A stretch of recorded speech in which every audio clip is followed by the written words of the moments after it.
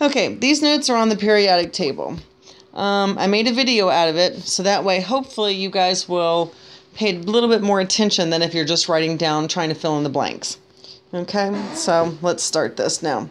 The periodic table. Okay, the periodic table is organized in a specific manner. A Russian scientist by the name of Dmitry Mendeleev, so this will be your first blank line, came up with the first periodic table in 1869, which, when you think about it, they didn't have that many elements back in 1869. What, maybe 30, 40, 50, something like that? I don't even think 50. I think it was in the 30s or 40s. But they had very few elements, and yet he managed to come up with a periodic table of sorts. Now, he arranged the elements known at the time in order of increasing atomic mass. Um, atomic numbers were still not known at that time. So they didn't know anything about protons yet, um, or neutrons, or anything like that. They just knew atomic masses. Okay, he observed that elements in families, um, which on our periodic table, it's the columns that go up and down. Those are families but he noticed that they appeared at regular periodic intervals. So the periodic table was made so that elements in the same family fell into vertical columns. At first, this did not always happen. Sometimes the next heaviest element did not seem to fit in a certain family. Um, Mendeleev solved that problem by placing the element in a family with similar properties even if he had to leave a space or two blank. Mendeleev was so sure about his periodic table that he suggested a not yet discovered element and he called it Eka silicon. That means it's sort of like silicon. Um, this element would have properties in between silicon and tin, and it was later discovered and named germanium. Yeah, for German. So, pretty cool, huh? He actually predicted germanium. Okay, now there were misfits, okay? But not everybody's perfect.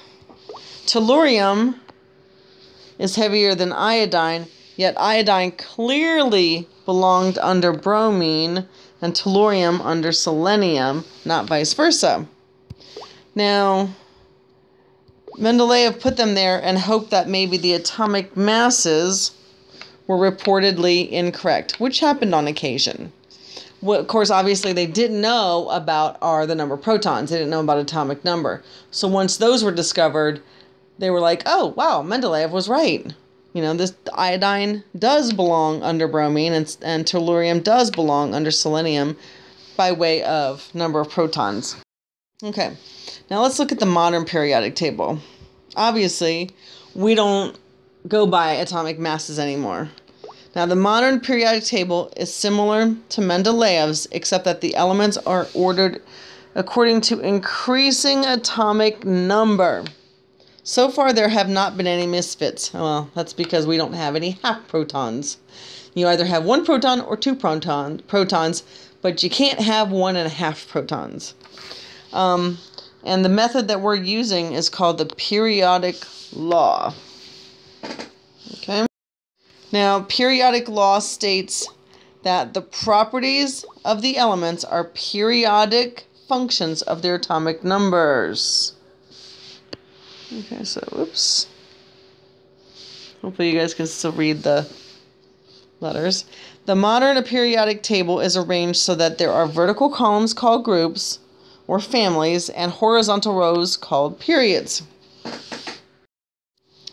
Now, each period ends with a member of the family known as noble gases. I don't know if this is one of the words that you need to underline, but I'm going to put it there anyway. Whoops. Yeah. I hate it when I make a mistake like that. Okay, let's try this again. There we go, noble gases. Um, these elements are chemically unreactive. Um, so they always end with a noble gas. Everything in the periodic table ends with a noble gas. Now, there are three classes of elements, and tomorrow we're actually going to color our periodic tables based on these three classes. We have metals, nonmetals, and metalloids. Now, metals are located on the left side of the periodic table, non-metals on the right, and the metalloids in between. You can't say metalloids are in the middle because they are not. Metalloids are also on the right-hand side, but they do mark the difference between metals and non-metals. They're the ones that are halfway between. They're kind of have properties of metals and properties of non-metals. Okay, so if we look at it, and this is basically what our periodic table is going to look like, only you can use whatever color you want. But tomorrow we are going to be coloring it one of those four, not the first one, but either the second, third, or the fourth one, whichever one you didn't cover color by blocks, we're going to color by metals. All these ones in blue are metals. All the ones in this pink color, fuchsia color, are metalloids, and all of the yellow ones are, so we got here, non-metals. So we've got our metals here. It's hard to read. Metals. Um, the metalloids. Metalloids are the pink ones. And your non-metals are the yellow ones. Okay? I don't know what that's doing there. Okay? So all the ones in blue, all the metals are the ones in blue. So these are blue, pink. So we got here. We got them in blue, pink, or in this case red, and then the yellow, which I don't have a yellow right now. Okay. So that's what your periodic table is going to look like. Okay, so let's talk about properties of metals.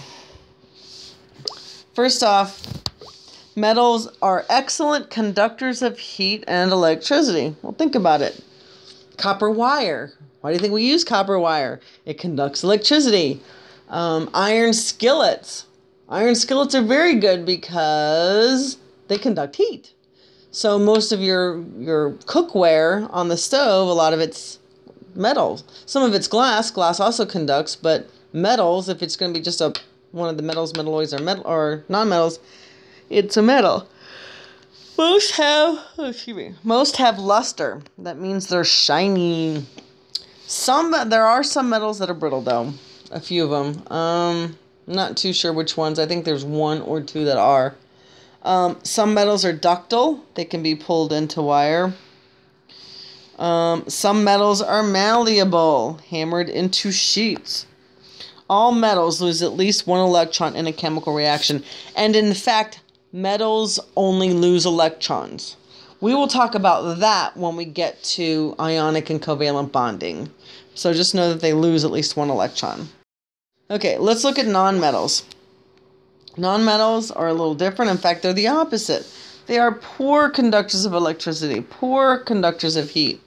Some are gases, some are solids, and one is a liquid at room temperature.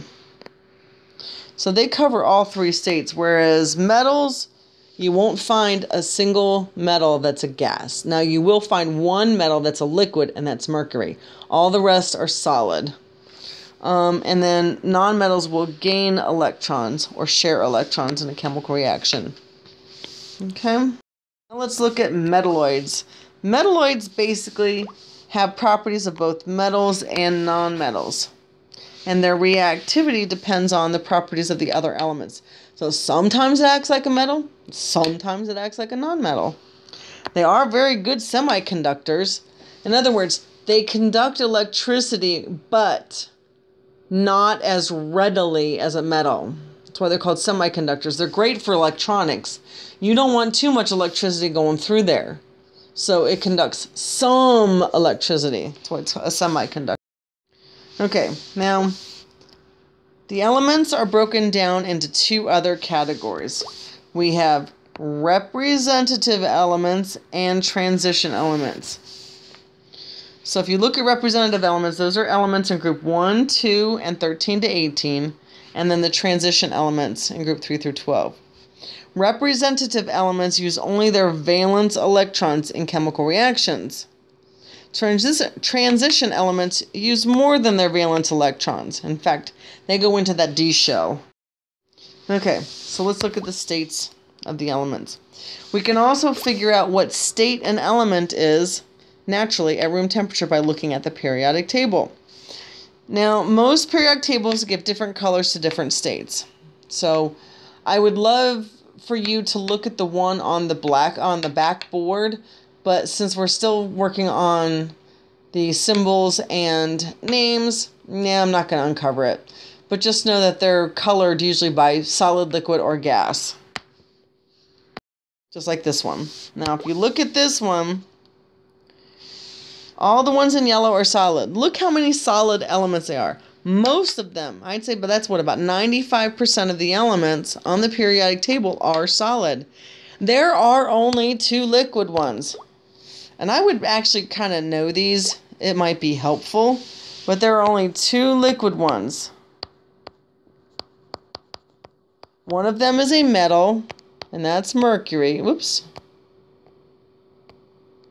And the other one is a non-metal, and that's bromine. Now, you got this whole line of gases over here. Now, notice they're all nonmetals, but they're all the noble gases, hence the name noble gases. And then you have four other gases. So that's that's it. Well, and then hydrogen, so five other gases. Everything else is a solid. Now, as I said in the notes, there are only two elements in the liquid state bromine and mercury. All of the gaseous elements, except hydrogen, are found to the right of the periodic table. The rest are solids.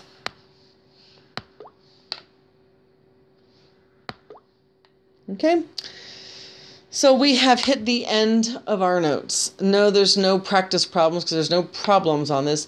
Tomorrow we are going to color the periodic table, metals, metalloids, and non-metals. Um, hopefully next week we get to do our lab and we're basically going to test the properties of certain materials and you're going to tell me whether it's a metal, non-metal, or a metalloid based on its properties. Okay, well, have a good night. Bye.